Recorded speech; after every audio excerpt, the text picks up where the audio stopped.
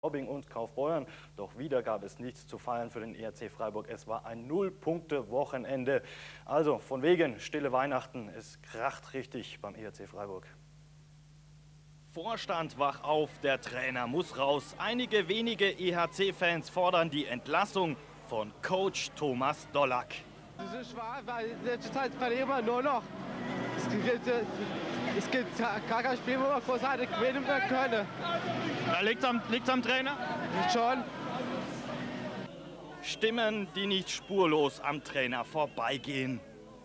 Gut, es tut sehr weh, weil ich bin sehr lange in Freiburg gewesen als Spieler und dann als Trainer. Ich versuche mein Bestes zu tun. Die meisten Fans sehen den Sündenbock für die Misere, aber gar nicht in der Person von Thomas Dollack. Äh, der Trainer kann nichts dafür, wenn die Mannschaft scheiße spielt. Die Mannschaft vergeigt, so nicht der Trainer.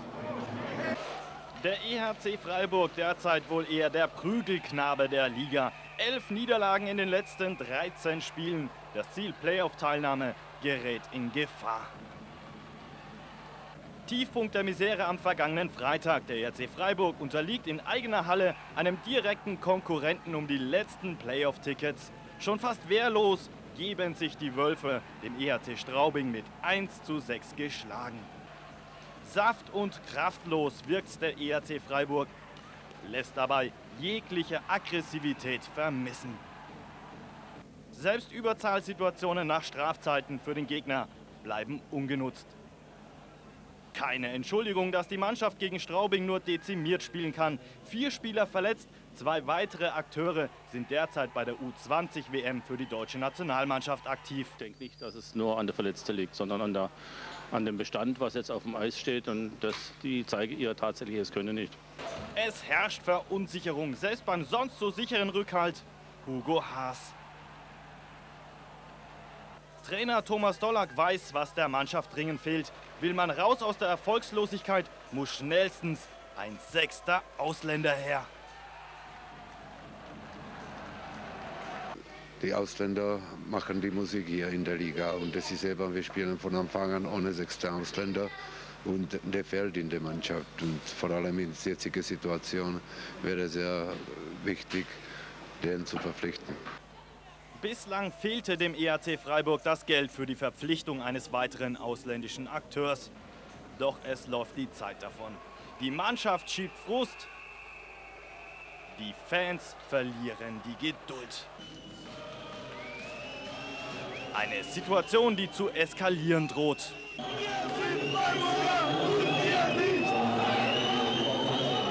Ja, total beschissen, weil die Mannschaft seit Saisonbeginn auswärts noch Scheiße spielt und mittlerweile auch daheim noch Scheiße spielt. Und uns Fans noch verarscht. Der EHC Freiburg muss schnell zurück in die Erfolgsspur. Tore wie der Ehrentreffer zum 1:6 gegen Straubing muss es wieder öfters zu bejubeln geben. Sonst verpasst man wie im Vorjahr die Qualifikation zu den Playoffs. Viel Arbeit wartet auf Coach Thomas Dollack, der noch Rückendeckung durch den Vorstand genießt. Das Thema Trainer, der steht nicht zur Debatte. Und äh, der Trainer wird natürlich mit uns zusammen eine Lösung finden, um aus der Misere rauszukommen. Eins ist aber klar, man wird am Erfolg gemessen. Bleiben die Siege aus, werden die Stimmen nach einem Rauswurf des Trainers eventuell doch lauter. Ob unter dem Druck der Fans dann an Coach Thomas Dollack festgehalten wird, darf man jedenfalls stark bezweifeln. Einen Hoffnungsschimmer gibt es jedenfalls jetzt schon für den Trainer des ERC Freiburg, für Thomas Dollack, denn der Vorstand hat nach dem Spiel gegen Straubing zugesagt, dass nun doch ein sechster Ausländer verpflichtet wird.